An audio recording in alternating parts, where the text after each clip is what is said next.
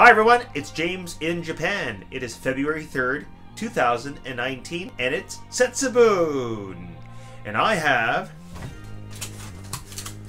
Maki Zushi or Maki Sushi. These are long sushi rolls.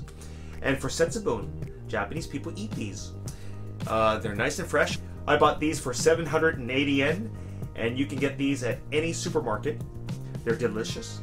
And depending on the year, it's eaten in a certain direction. And since it's 2019 now, I think it's east, north, east. But I don't follow that, okay? And you're supposed to eat it all at once, but I'm not going to follow that either. This is my dinner, so I want to eat these nice and slowly.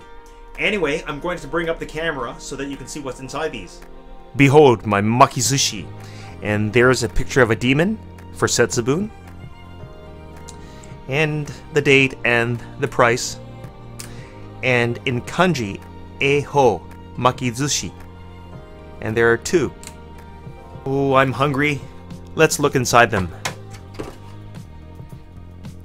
Nicely made.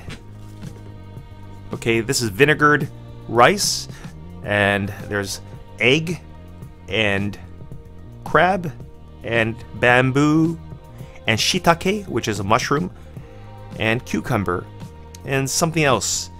You know what? You can also get tuna or other fish in some of these makizushis. I don't see any tuna. That's too bad.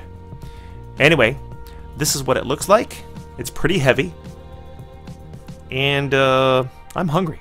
If you like sushi, this is a great meal. By eating these long sushi rolls in a certain direction symbolizes good luck. Right now, I'm hungry, so I'm going to enjoy these. Thanks for watching and happy Setsubun!